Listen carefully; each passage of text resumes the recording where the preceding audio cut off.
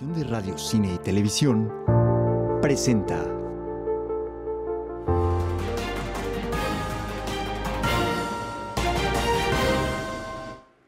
Hola, ¿qué tal? Buenas tardes, bienvenidos a la segunda emisión de Ahora Noticias. Hoy es martes 26 de septiembre y esta es la información. Encabeza gobernadora Lorena Cuellar inauguración del Centro de Preparación Vehicular de Mercedes-Benz en el municipio de Coapiaxtla. Autoridades estatales colocan primera piedra del aula de titulación y centro de idiomas del Instituto Tecnológico Superior de Tlaxco. Continúa la jornada de vacunación antirrábica en el estado. Concluirá el próximo sábado 30 de septiembre. En los deportes siguen los entrenamientos de los seleccionados de México rumbo al Mundial de Voleibol de Playa Tlaxcala 2023. En Información Nacional, en marzo de 2024, INS Bienestar garantizará atención médica universal y gratuita en 20 estados de la República, informa el presidente Andrés Manuel López Obrador. En Información Internacional, al menos seis muertos y más de una decena de desaparecidos por crecida de río en Guatemala.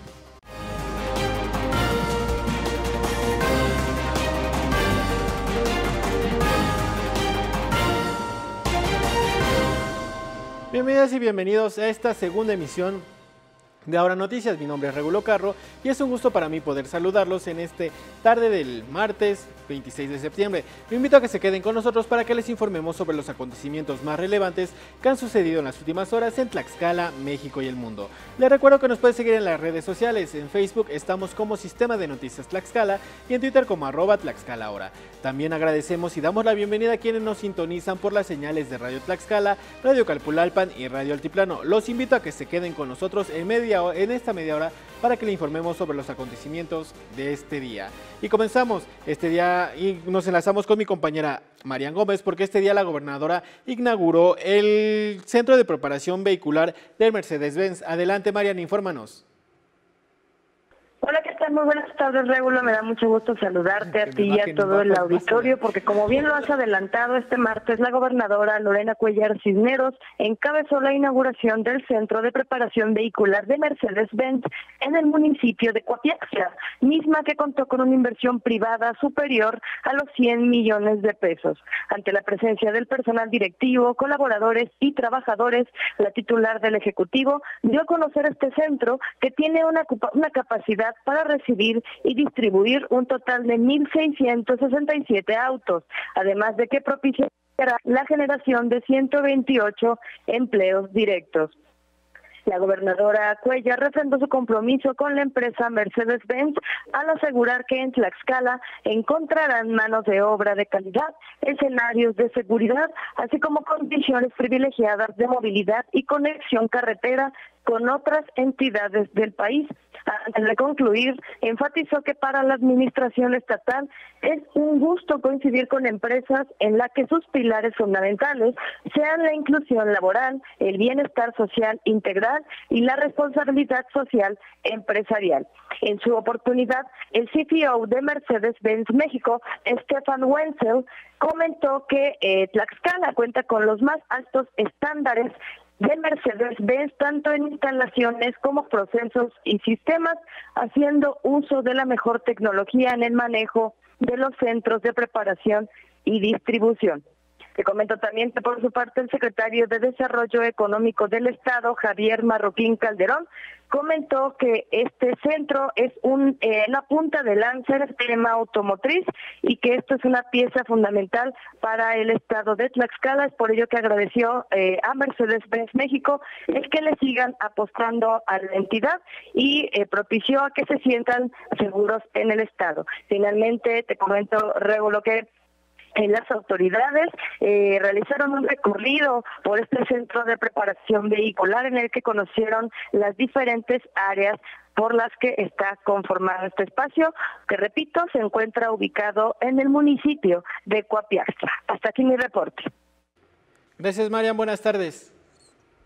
Ahora nos enlazamos con mi compañera Ana Sánchez para que nos informe sobre la colocación de la primera piedra del aula de titulación y centro de idiomas del Instituto Tecnológico Superior de Tlaxco. Buenas tardes, Ana. Infórmanos.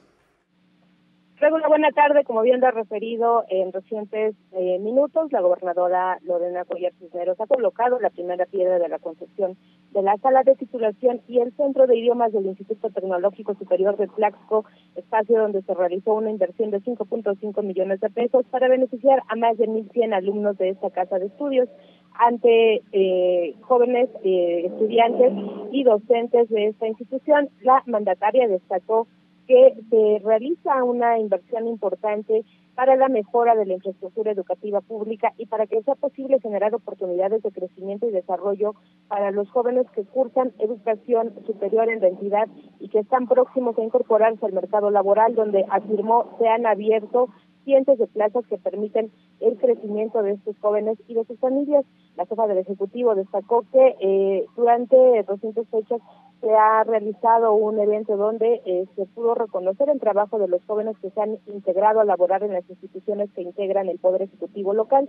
Asimismo, señaló que Tlaxcala ocupa la quinta posición como la entidad con la mayor presencia de empresas extranjeras en el país, lo que permite las condiciones adecuadas para el desarrollo de la juventud tlaxcalteca. Por su parte, el secretario de Educación Pública, Homero Meneses Hernández, señaló que el impulso que ha dado este gobierno a la educación superior no tiene precedentes en la de la entidad. En este contexto puntualizó que en los últimos dos años se han generado cinco instituciones de educación superior en la entidad, lo que marca un avance importante en comparación con los últimos 50 años, donde en la entidad se crearon 12 instituciones de educación superior.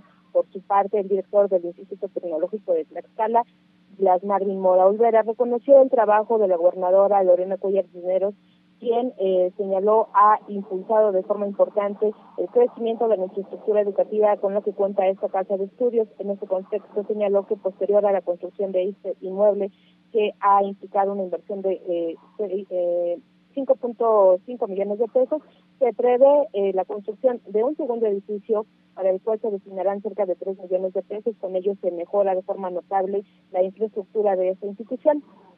Por su parte, el director del Instituto Tlaxcalteca de Infraestructura Física Educativa, Miguel Piedras Díaz, detalló que se realizó una inversión de cuatro millones, poco más de cuatro millones de pesos en obra pública y se realizó una inversión de un millón ciento sesenta y cuatro mil pesos para el equipamiento inmobiliario eh, lo que suma pues en total 5.5 millones de pesos para el inmueble que está por construirse. Como parte de los trabajos que se realizarán se encuentra la construcción del edificio L, un espacio audiovisual, el aula de idiomas, trabajos de obra exterior, eh, pintura, minería, en fin, una serie de actividades que además considera también espacios para eh, personal administrativo y docente que desarrollaran mejores condiciones su labor educativa. Pues es parte de lo que se ha eh, registrado en recientes minutos en estas instalaciones del Instituto Tlaxcalteca Superior de Tlaxco. Hasta aquí la información, Rulo. Ana, no te vayas, también este día se presentó el primer Congreso NUMED 2023. Danos los pormenores.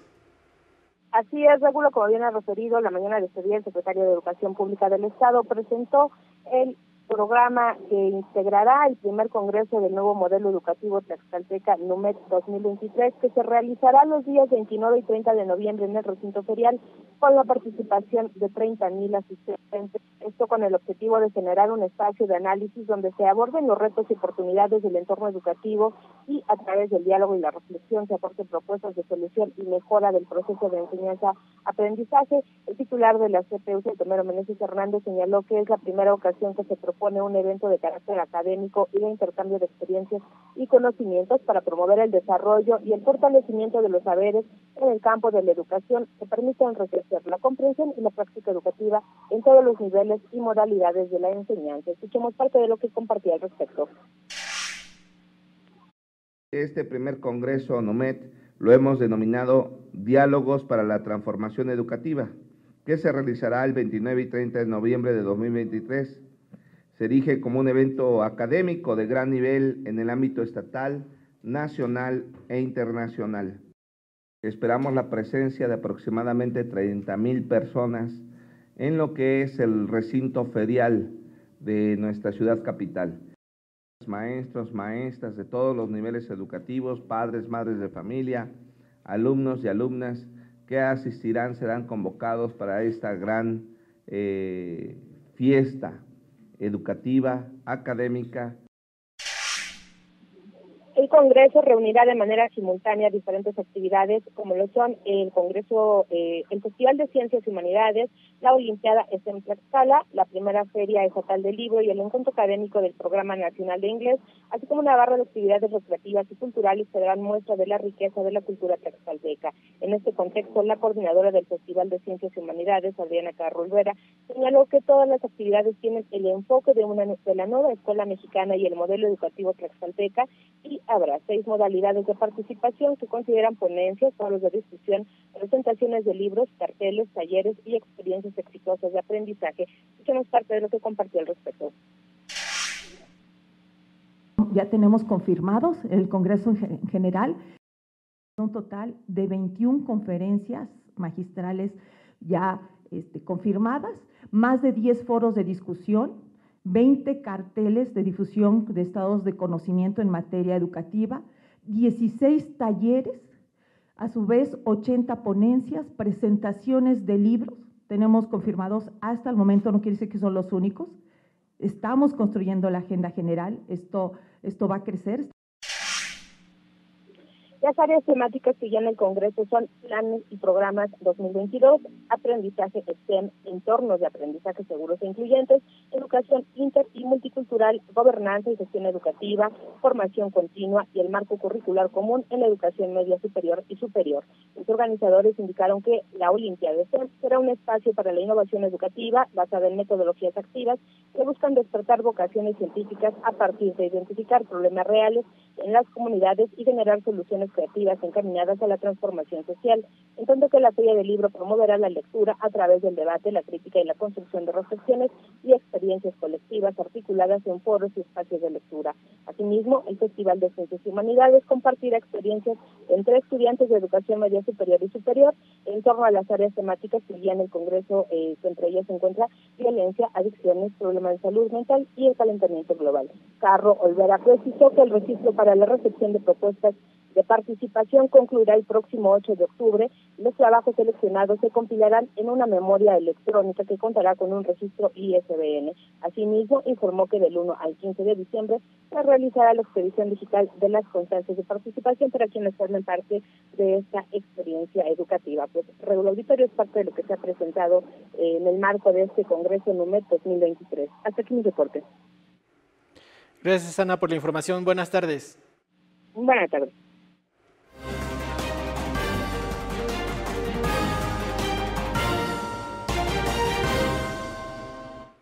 3 de la tarde con 12 minutos en Información Nacional. En marzo de 2024, INS Bienestar garantizará atención médica y universal gratuita en 23 estados de la República, informa el presidente Andrés Manuel López Obrador.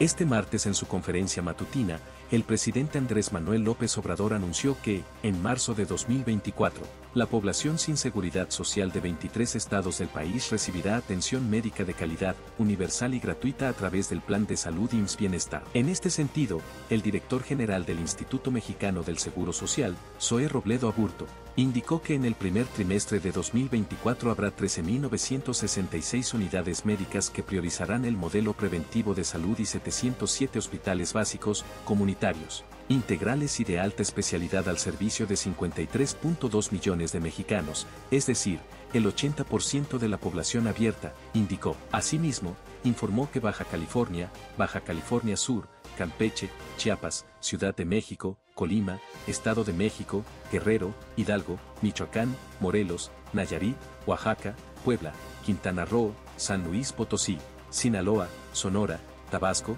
Tamaulipas, Tlaxcala, Veracruz y Zacatecas ya son estados adheridos al modelo IMSS Bienestar y ya se encuentran en la etapa de implementación y operación central. La meta, dijo, es llegar a marzo del siguiente año con la operación e implementación plena del modelo de atención en salud. El Servicio Sismológico Nacional registró este martes un sismo de magnitud preliminar de 5.1 en Matías Romero, Oaxaca, que según usuarios en redes sociales fue perceptible en algunas zonas de Veracruz, pero con menor intensidad. Alrededor de las 11.56 de la mañana el Servicio Sismológico Nacional ajustó la escala a 4.8. A través de sus redes sociales Protección Civil de Oaxaca informó que hasta el momento no se reportan daños en las ocho regiones de la entidad. Cabe mencionar que este temblor no se sintió en la zona centro del país por lo que tampoco fue necesario activar la alerta sísmica. 3 de la tarde con 15 minutos, es hora de hacer una breve pausa, pero regresamos con más información. Regresamos.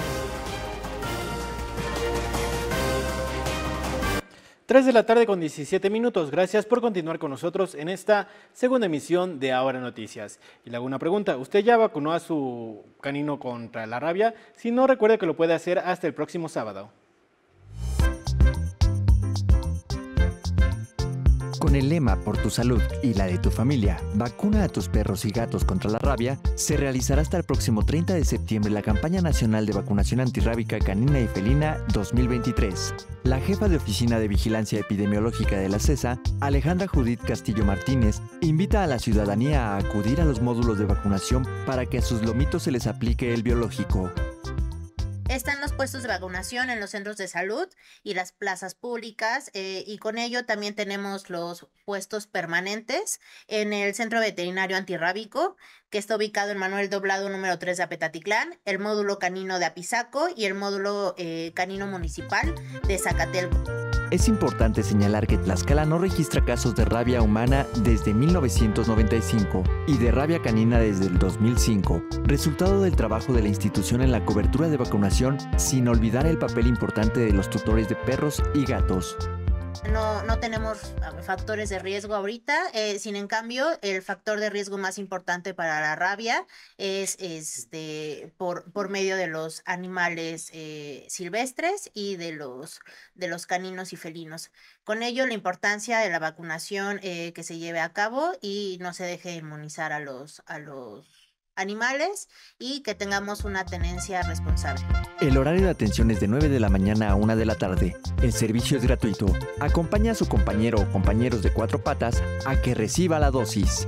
Con información de Edith López, Ahora Noticias. Ahora nos volvemos a comunicar con mi compañera Ana Sánchez para que nos informe sobre el inicio de la Semana de Seguridad y Salud del Trabajo en las que se realizó en las instalaciones del FES Zaragoza de la UNAM. Adelante Ana, infórmanos. Regulo, nuevamente saludamos al auditorio eh, con gusto para compartir esta información que viene adelantado. Eh, referir que esta mañana en las instalaciones del CEL Zaragoza Campus 3 de la UNAM, ubicado en la fábrica de San Manuel, inició eh, pues esta semana de seguridad y salud en el trabajo con la que se busca abonar a la cultura de la prevención y el cuidado del bienestar de las y los trabajadores. En este contexto, el secretario de Trabajo y Competitividad, José Noé Tamirano Islas, destacó que la política pública del gobierno del Estado es privilegiar la protección de los derechos laborales, así como sensibilizar a empresas e instituciones sobre la importancia de prevenir riesgos y evitar accidentes de trabajo para salvaguardar la vida. El secretario refirió que esta es la razón principal del gobierno del Estado, proteger las condiciones de trabajo y cuidar de la salud física y mental de los trabajadores. En su oportunidad, el, el subdirector de Sistema de Administración de Seguridad y Salud en el Trabajo de la Secretaría de Trabajo y Previsión Social, Francisco Manuel Tornero, eh, señaló que es responsabilidad de todos abonar a este objetivo, al tiempo que dijo que el trabajo conjunto entre los gobiernos estatal y federal permite emprender acciones para acompañar a las empresas y garantizar los derechos laborales de los trabajadores y destacó a su vez la importancia de que exista capacitación para fortalecer la seguridad en los centros laborales. En ese sentido, refrendó su compromiso para mantener ese trabajo conjunto y de la mano de los gobiernos municipales, las instituciones estatales, así como de las empresas y sindicatos, pues generar condiciones adecuadas para el desarrollo de los trabajadores en la entidad. Esta actividad eh, que ha iniciado este día se mantendrá hasta el 29 de septiembre y considera 14 eh, actividades entre conferencias, pláticas, talleres y cursos con la participación de instituciones como el Instituto Mexicano del Seguro Social, la Coordinación Estatal de Protección Civil, el ICATLAC, así como instituciones de educación superior e iniciativa privada. Pues es parte de lo que se ha registrado esta mañana durante la inauguración de esta Semana de Seguridad y Salud en el Trabajo. Luego lo auditorio, aquí mi reporte. Gracias, Ana. Buenas tardes. Buenas tardes. Y en más temas, cada vez estamos más cerca de que inicie el Campeonato Mundial de Voleibol de Playa Tlaxcala 2023, pero parte importante de los trabajos que se realizarán lo harán los voluntarios de la entidad. Escuchemos. Más de 500 personas voluntarias estarán desempeñando diversas actividades durante el Campeonato Mundial de Voleibol de Playa 2023, que se realizará del 5 al 15 de octubre en Tlaxcala, Apizaco y Huamantla. Así lo informó la directora del Instituto del Deporte, Madaí Pérez Carrillo. Estamos avanzando, ya es eso todos los detalles logísticos, la operatividad, pues prácticamente ya está. Agradecer a todos los jóvenes que se integraron a las listas de voluntarios. Eh, realmente tenemos, le digo, tenemos un programa lindo. Este, son bastantes voluntarios, tenemos arriba de 500, desgraciadamente pues no podemos este, eh, incluir a todos, pero creo que todos se van a llevar, los que se queden tendrán una experiencia de vida inigualable. La funcionaria estatal comentó que tras el campeonato celebrado en 2022, las expectativas para este año son muy altas y se espera un nivel deportivo de primer nivel, pues será el pase a los Juegos Olímpicos de París, Francia 2024. La expectativa que tiene el mundo de nosotros los tlaxcaltecas es muy alta. Invito a la población que sepamos que somos la selección nacional de México, que no es solamente Tlaxcala, que estamos representando a un país y que trabajemos todos de, la mano para mostrar y abrir esas puertas del mundo a todos los sectores. Es una oportunidad de vida inigualable en toda la historia desde nuestra formación como país. Solamente cuatro estados han... Este, pues han, estado recibiendo o albergando un mundial y nosotros seremos el quinto estado. Por último, la directora del IDET puntualizó que la Federación Internacional de Voleibol ha estado trabajando de manera cercana con los gobiernos federal, estatal y municipal para alistar los últimos detalles del evento deportivo de talla mundial. La comunicación, la Federación Internacional ha estado de la mano todo el tiempo con el comité organizador. Acá en Tlaxcala se han, se han generado reuniones este, a todas horas, desde la programación de, primero la definición del rankings, después la programación de los encuentros, el tipo de sorteo, que cumpliéramos con todos los lineamientos nacionales e internacionales. Al igualmente que hemos trabajado de manera coordinada con este, aduanas, con aeropuertos, para poderles dar las facilidades. Para Ahora Noticias, Marian Gómez.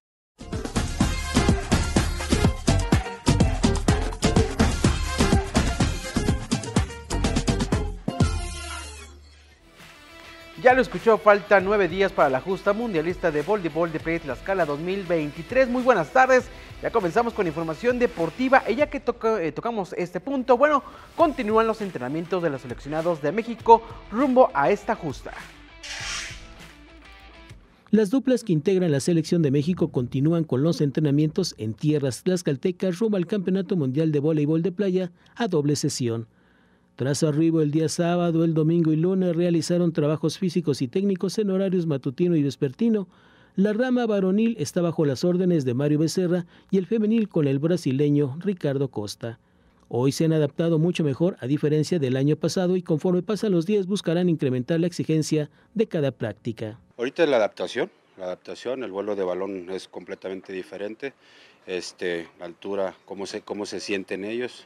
Vemos que el resultado ha sido bastante bueno, el trabajo que hemos hecho, y, este, y empezar agarrando un poquito más de, velocidad en nuestro juego, que es lo que vamos a, este, a trabajar ya en los juegos eh, del mundo. Hablemos ahora del voleibol de sala porque la selección mexicana varonil de esta disciplina obtuvo medalla de bronce en el final de Six de la Confederación de Norteamérica, Centroamérica y el Caribe de voleibol Norseca, torneo que se llevó a cabo del 19 al 24 de septiembre en Edmonton, Canadá. El representativo nacional se quedó con el tercer puesto de la competencia luego de vencer a su similar de Cuba en sets consecutivos, resultado que le aseguró su segunda presea en ese tipo de torneo tras el oro que consiguió en la del 2021. Cerramos con fútbol femenil porque la selección mexicana disputará su segundo partido del clasificatorio rumbo a la Copa Oro Femenil ante Trinidad y Tobago luego del dramático triunfo ante Puerto Rico en el Estadio Azteca. Las dirigidas por Pedro López jugarán en el Estadio Hidalgo en Pachuca buscando otro triunfo para asegurar el liderato del sector A. El juego se realizará hoy martes 26 de septiembre a las 19 horas. Hasta aquí con lo más importante en información deportiva. Nos saludamos más tarde. Que tengan un excelente martes.